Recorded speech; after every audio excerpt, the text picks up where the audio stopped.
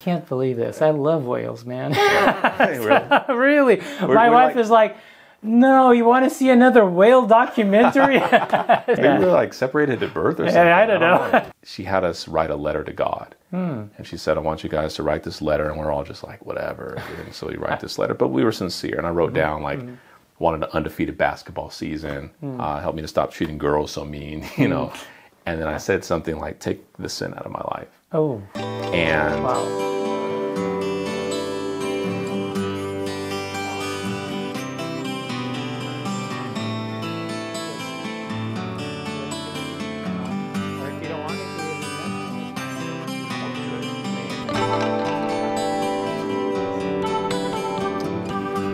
Hello, friends. This is Pastor Daniel Gouveia. I'm so happy that you, you can join me and my friend. I have a wonderful friend that I'm going to interview today, and uh, he's going to share a little bit about him, about his life, about his ministry.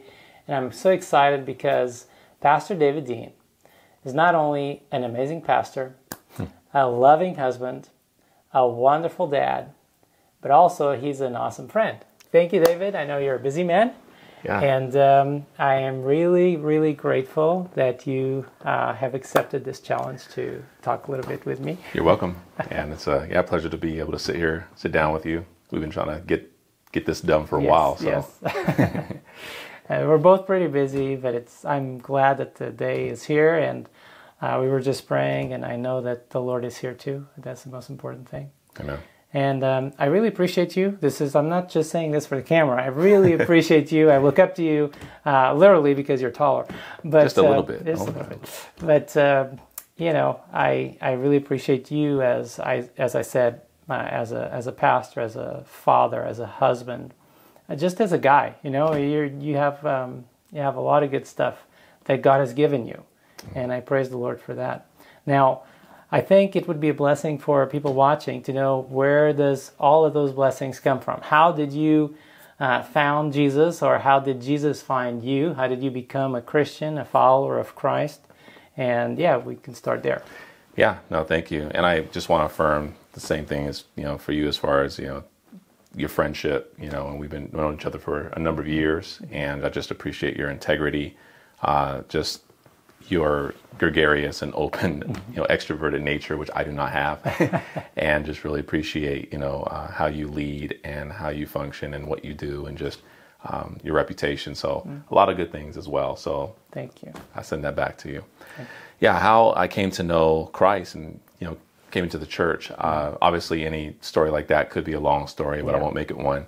Uh, but I was born in Reno, Nevada, and I grew up in a home that was kind of you know part secular, part sacred. It was you know Christian, but it was also very worldly from the perspective that we were just into the same thing every other American you know was into as far as you know what we do, what we watch, what we see, but we would go to church. My father was an attorney and he wasn't really into church, uh, but my mom was definitely more spiritually, you know, driven. Yeah. And I mean, think for my father, my mom told me that he was running from a call to ministry. hmm. So it's probable that he, you know, kept that going while I was alive, uh, and while he was alive, rather. And, you know, in that home, my mom would teach us how to pray. I remember having this big, massive Bible, and when there were thunderstorms and stuff, we'd turn off all the lights and light candles, and we'd be, you know, reading the scriptures. Uh, we go to church every week, and you know, bounced around from a few, you know, to a few different churches uh, here and there. But we had a spiritual conscience. There was a, a godliness in the home to an extent that pervaded beyond just, you know, the day we went to church. And so I carried that. Once my father passed away when I was eight, uh, a few years later, we moved from Nevada to the Bay Area. And I remember, you know, it being a very uh, huge culture shock for me because just the environments and the atmosphere, the school system, everything was different. And so I kind of went through like this crisis of sorts. And I remember becoming somewhat suicidal by this Oh, wow. seventh grade and, uh, or just thinking about it, you know, and just not understanding the meaning of life and the meaning of my life and what Yeah. in the world the future had for me that was worthwhile. And so I remember at about 12 years old or so, um, I was baptized for the first time, and I was sitting in a church, and uh, the pastor made a call for those who wanted to be baptized. And I remember, you know, sensing the voice of this Holy Spirit, you know, telling me I needed to do this and should do this, not like I was being forced. Yeah. And so I walked up and I was baptized, you know, at 12 and um, didn't really know what to do beyond that. Wasn't studying Mm. scripture, didn't really get discipled much. You're just, you just got baptized, Yeah, right? yeah. And you're a kid. And You, you were expressing a desire, though, to follow Jesus and to have Yeah. God in your life. No, for sure. And so I mm-hmm. knew at least that much, mm-hmm. but I guess looking back, wish there was more, you know, mm-hmm. to that uh, at the time. And uh, then from 12 years old till about, you know, 17 or whatever, I'm just living a normal life of a kid, you know, doing whatever other what other kids do. Not huge extremes one way or the other. wasn't into a whole lot of you know crazy stuff, uh, but I had friends who were. Mm, yeah. And I remember when I was actually about 14, uh, after my freshman year of high school, uh, we went on this train trip around the country. My mom, you know, wanted she loved to travel with us, and took myself and my sisters and I, uh, or myself and my sisters, we went on a trip um, around the country, and we got to Philadelphia and connected with an uncle that was there, and he took us to church. And the morning we were getting ready to go to church, some his roommate, which was also a minister, uh, you know, kind of walked up to me, was looking at me strange, and he just shook my hand and walked away. And I kind of looked back, feeling like God maybe was like doing something in that moment. I still really don't know what he perceived or saw, but Right. later on at that church service, um, they allow people to stand up and do testimonies. I remember standing up and just, you know, the Holy Spirit just kind of like came on me, and I'm just sharing about how I believe this was trip was God ordained and God like blessed us, and you know, to come here, and it was the first time I really sensed like this amazing uh, presence of mm-hmm. God, mm-hmm. and all the train trip home, I'm singing songs in the in the on the train just to mm-hmm. myself, and just had this spiritual high. Got home, went back to my video games, and that high just went away. Just went away. Because I didn't know to study the scripture and pray and do whatever. I was just wasn't taught in Right. that.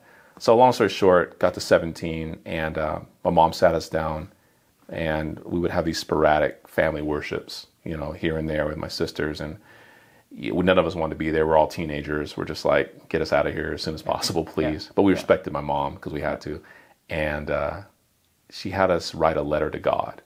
And she said, I want you guys to write this letter. And we're all just like, whatever. And so we write this letter. But we were sincere. And I wrote down, like, wanted an undefeated basketball season, hmm. uh, helped me to stop treating girls so mean, you know. Hmm. And then I said something like, take the sin out of my life. Oh, And wow. tucked it away, gave it back to my mom, or maybe I held on to it, whatever.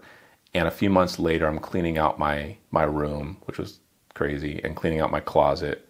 And I just remember opening up my closet, looking at the floor, and thinking, "Man, I, this is going to take a lot of work." Hmm. And I saw this book about the um, it was like a notebook about the book of Revelation that I got when I was a kid living in Nevada. And I reached down and said, Man, I haven't seen this book for years. And I reached down and grabbed it. And at that moment, the Holy Spirit just flooded the room, flooded my heart. Uh, and I think he took advantage of the fact that I was cleaning my room because I just started tearing down posters that shouldn't have been up, throwing away, see, uh, not, you know, tapes and, and music that I was like, had been listening to that I think was really creating a barrier between myself and God Right. and like the Holy Spirit started cleaning up my life. I think in answer to that letter hmm. that I wrote a few months before. So throughout my senior year of high school, I was a Bible boy and I was in a hmm. public school, high school, and just you know rolling hard with God and kind of step back from some of my friends. I spent the whole summer before my senior year studying the scriptures mm-hmm. on my own, and just getting close to God. And so I could say that was probably the most pivotal moment of my life, and when I really got close to the Lord and became a, like a true follower of Jesus, mm. understanding Scripture and prayer, and watching myself grow in God, and sensing the transcendence and the power of the Holy Spirit and the supernatural glory of God mm. in my heart, and the stripping away of parts of myself that needed to go. Um, and then, you know, from there, had a lot of hiccups, hills, valleys, Uh-huh, peaks, uh-huh, you know, ups and downs or whatever. But yeah, But that was some of the defining moments. Let's it that For sure. Yeah, that that's so awesome because you know one of the things that I'm finding as I'm interviewing some pastors and sh- they are sharing their testimonies is like some points of you know connection or some things in common. And one of the things that you know to me um, that happened in my life was I was baptized when I was 12. I wasn't I wanted to follow Jesus, but I wasn't really there yet. You know, I wasn't having a consistent relationship with the Lord and there was a lot of factors missing, let's Right. put it that way. I went through suicidal thoughts too. And then I did have some almost like you're describing, almost supernatural, you know, things that happened in my life. And, and some of them I do believe were an answer to spoken or almost unspoken prayers, and also maybe a godly mother who was praying for me and my father too. So, yeah, I didn't know your dad had passed away when you were just saved. Yeah, yeah, when I was pretty young. So that was another. I mean, from a negative side, might have been what it was a catalyst behind just the lack of meaning and the wandering, and just you know some existential questions that I was having, and uh, and really from a negative standpoint, again, just uh, very pivotal and you know life transforming Yeah. in a way to lose. You know, my father, he was a great dad, hmm. and so that made it doubly hard because all of a hmm. sudden he's just absent and died of cancer. Yeah. So Well, I'm really sorry to hear that. yeah, that. thank you. So, another question is how did you go from there? So, God was working in your life, and I know you still had hiccups, like we all do, right? But how did you go from there to a life in ministry as a pastor? How, how did that calling come? How did that happen? Yeah, you know, after, you know, experiencing the power of the Holy Spirit, I was involved in my church and was really, you know, connected to a strong youth group. Uh, we would meet we would meet on Friday nights, we would meet that weekend, we would hang out after church and that was a very, I guess, spiritual, you know, transformative, you know, uh, part of my of my experience. And the pastors that were pastoring the church that I was in uh, were very I don't know, open towards getting young people involved and seeing young people preach. And so uh, every once in a while we'd have what was called a youth day. Yeah. And so the youth would run everything. They do the music, they do all the, you know, praying and the Nice. uh, running of the program, and they would also speak. So I remember being asked to speak, and it was usually two or three of us that would share. And so the very first time, you know, I, I preached, nervous as you know, Right. and read everything, Yeah, you yeah. know, on, on my on my script. how old were you? I was about 17, 18. 17, Yeah. okay. And then after that, I, I spoke, you know, more often. Mm-hmm, and then people would start to say, You're going to be a pastor. Oh, And of course, I'm like, No way. I'm, I'm good. no, I have no plans whatsoever to be a Uh-huh. pastor. I don't feel called to that. Mm-hmm. And yet I still continue to, to speak here and there. Mm-hmm. But I did get kind of drawn back into the world a little bit. I got, you know, pulled back into a lot of secular music and Mm-hmm. movies and different things that, again, threw this barrier up between myself and God, I still hung on to the Lord, still kept going to church. In some cases, even still kept preaching. Uh, but I'd go out on Friday nights, I'd go out on Saturday nights and hang out with friends in San Francisco and Oakland Mm-hmm. Yeah. and the clubs and things like that. Yeah. And really felt guilty about it. I still was reading the Bible, but, you know, it just was not, you know, as connected as before. yeah. So at some point, I started working for uh, for a bank, and I was just working at different places. And a friend of mine got me uh, hired at this this bank that I was working at, and that was going well for a while. I was actually trying to go to school for radio TV. That was my my dream was to do some uh, you know work in media or whatever in communication. And I was kind of taking a break from school, just working, and I remember sitting on my job or sitting at my job, and it was overlooking the bay hmm. uh, in Redwood, you know, in Redwood Shores or Redwood City, and I'm just sitting there looking out the window on my break, and I'm just kind of lost, thinking like, I don't know what in the world I want to do with my life or what I'm supposed to be doing. Right. Um, and then I thought in my head, I, I said to myself, I was like, maybe, maybe Lord, I'd be a youth pastor or something like hmm. that, hmm. right? And I just feel like God secretly was like, I got you. Yeah, Like, yeah. you know, now I've, now I've got uh-huh, you. Uh-huh, uh-huh. And uh, that week, my senior pastor of my church came to me. He was like, you know what? I think I want to try to see if you can become the associate pastor of this church. Oh, wow. I hadn't been trained. I hadn't gone to Wow, school, wow. anything. I just been preaching all over the place. I think I just got back from speaking in uh, in my actually my, in my hometown Mm-hmm. in Nevada, and I think there was an article that was produced in a in a small magazine about it, and I think he saw that, Right. and all these young people came to Christ and wanted baptism, and so I think he saw that and was like, man, like I want to get this guy in the ministry.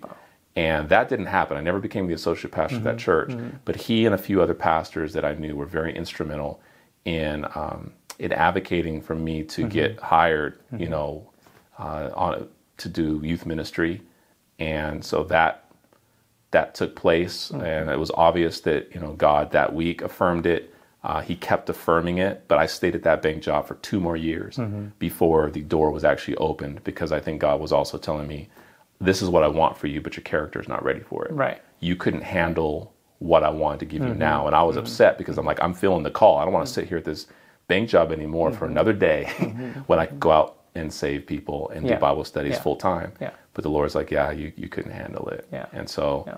it took a little while longer, two years. And then finally that door was open to, to be in youth ministry. And then since then, you know, pastored a number of churches here and there. And uh, Mm-hmm. Yeah. here I am today. Again, man, I'm just listening to you and I'm just having this deja vu because it was pretty much, there's a lot of things that are in common. You know, I remember that, again, I was also kind of, when my 17s, I was kind of one foot in the church, one foot in the world. Let's put, it- let's say that Yeah. that way. A lot of friends who are not, you know, uh, really godly people at all. A lot of bad music. They were into drugs as well. By God's grace, I didn't get into drugs or alcohol or even tobacco. They were all into that, um, and and I was going to church and hanging out with them. Then you know, God really took a hold of my heart, and I think the local pastor had a just he, he just noticed that something was different, so he invited me to preach, and that then invited me again, then again, first at a prayer meeting, Wednesday night prayer meeting, then uh, Saturday morning, and then Saturday morning, and and all the members of the church were like, "You have to be a pastor. You have to be," and that was the last thing I wanted. I said, Right. "No, no." Eventually, I was studying psychology and said, "No way, never in my life I would be a pastor." you know, but a lot of different pastors also affirmed me, and uh, eventually, I think, I think the first time that I really wished something in those lines was as I was getting to study the Gospels, and I was getting to know Jesus for the first time. I was 19 at the time. And I think that was the first time that I said, wow, being a pastor is amazing. They get to do this for hours every day. I didn't know better. right, exactly. but, uh, yeah. Anyways, yeah. So, all right. So, I have another question for you. Mm-hmm. And that is um, what is your greatest dream uh, in ministry or even in life? You know? yeah, that's a good question. It's a it's a scary question for me only because I you know there's there's been a secret ambition that's always been in the background, um, hovering you know for for many years. And uh, besides, you know, I had dreams of doing radio TV when I was a kid. I wanted to actually be a marine biologist and live in Monterey wow. and you know study whales. And I just loved uh, studying and drawing you know marine life and I can't believe this. I love whales, man.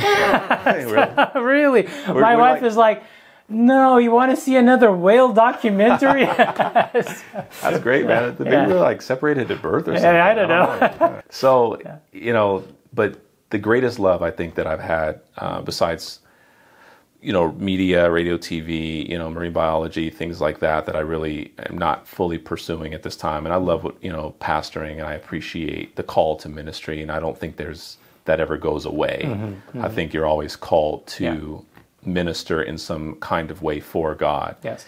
But you know, the secret ambition that's been you know kind of just in the background has been music and, and mm. poetry. That's mm. Something I have done on the side. I do you know worship lead here and there. I've got a ton of songs that I've written, and this goes back to like when I was a kid. My dad, before he became an attorney, uh, was a traveling musician. He went to a conservatory of music in Texas. Um, and he traveled around and did jazz music and played a bunch of instruments and wrote songs and things like that. So when he when he was raising me, he never ever told me that. I found out about that from my mom after he had passed away. As a matter of fact, she told a story of one time when he was, um, you know, he was already, already had us as kids, and he she came downstairs and saw him playing the piano, and then he looked up and saw her, and he stopped, stood up, closed the piano, and walked away. I think he didn't know how to transition out of transitioned his music into a different life that he was mm-hmm. living out of that mm-hmm. that mm-hmm. traveling musician lifestyle or whatever. I don't know.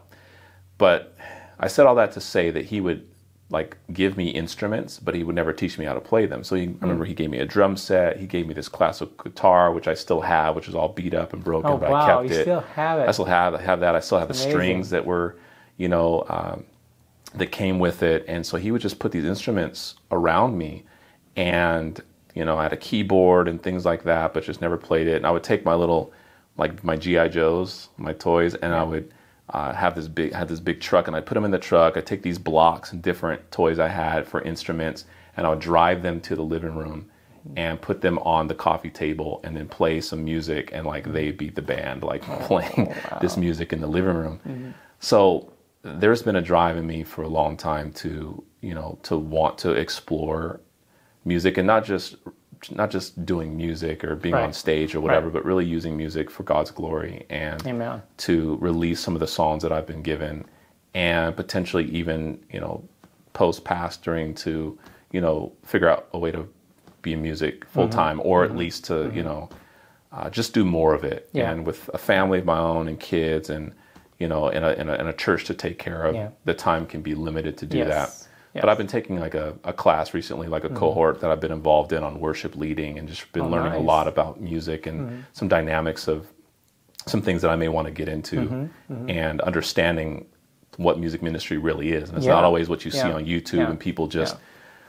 you know, kind of putting sometimes self in front of the Savior. Right. And sometimes even some of the songs that are written are really more glorifying to the human Mm-hmm. than it is to God. Yes. So one other element to that is just writing, you know, songs and worship music that is theologically strong, that's meant for the church, Mm-hmm. Yes. that people can can use, um, that may be a better bridge than some of the music that's out there. Not that I'm the greatest songwriter Mm-hmm. ever, but just there's a desire in me to see some of that happen, as well as to help Mm-hmm. train, you know, other worship leaders as I grow myself as a worship leader. Yes. Um, so if I put it all in just one package, Mm-hmm. it's it's music, it's art, it's poetry, and using that in a greater a greater way, and even potentially eventually doing that, Hmm. you know, uh, you know, full time whenever Yeah. I'm done. But that's up to the Lord, trying to be surrendered and follow. Amen. Um, but that's the that's the secret. That's beautiful. You know, I so I there were different. so I'm not very talented with playing music or writing songs. I did. I remember I wrote one song when I was younger, and I really loved it. It was just inspired by Psalm 139, and a friend put some uh, music on it. Actually, I dreamt. I had a dream with, about the music. I think so. I shared with him, and he kind of helped me. And we sang it at church, but that was pretty much it. Interesting. I love to sing, but Yeah. uh, I'm not like trained or anything like that. But I love to sing, but I can't play anything. Really? I tried when I was a kid, learned guitar, and I really loved it, but I didn't pursue it. didn't so. pursue it hard. Yeah, and you know, for me, I didn't get into. I mean, I was taking piano lessons for a while, and Mm-hmm. then you know, the guy who was giving me piano lessons wanted me to use the art or the poetry and really gospel rap to like rap on his wife's album Mm-hmm. Yeah. that he was doing. So then yeah. I he got I got away from the lessons and wish I Mm-hmm. didn't, and I was doing this gospel rap stuff for a while, which was cool, but it, you know, it wasn't my vibe. Yeah. Um, but I actually had a few dreams uh, that I was playing guitar Mm-hmm. and they would just keep coming up. And I had no instrumental background at all. I just knew I loved instruments. Wish I could live and sleep in a music store, you know. Yeah, yeah. And then finally, those dreams started going away only after I bought my first guitar a number of mm. years ago and started mm. learning and teaching mm. myself how to play.